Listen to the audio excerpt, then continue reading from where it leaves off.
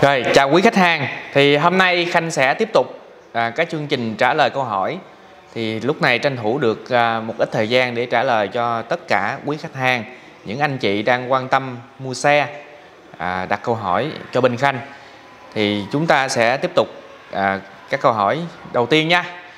À, anh Thành Phát, anh Thành Phát có hỏi bên Khanh là có xe Santa Fe và Tucson cũ hay không? Và Khanh xin phép trả lời anh Thành Phát là hiện tại đại lý à, có hỗ trợ thu đổi xe cũ cho khách hàng.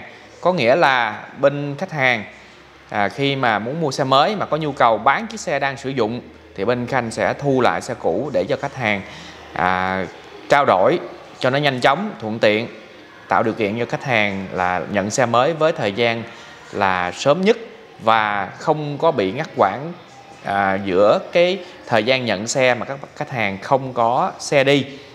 Thì, thì tùy theo thời điểm mà bên khanh có xe cũ loại nào màu gì tại vì xe cũ thì mình không chủ động được cái màu sắc chọn giống như xe mới. Thì khách hàng của bên khanh bán xe cũ loại nào thì bên khanh sẽ thông báo lại và khanh làm những cái video clip gửi lên cho quý khách hàng. Hiện tại thì túc xanh thì bên khanh có xe cũ đang có một chiếc à, để khanh kiểm tra lại coi giá cả và đời như thế nào tại vì xe nó mới vừa về. Còn Santa Fe thì hiện tại khanh không có. À, cảm ơn anh Thành Phát đã đặt câu hỏi.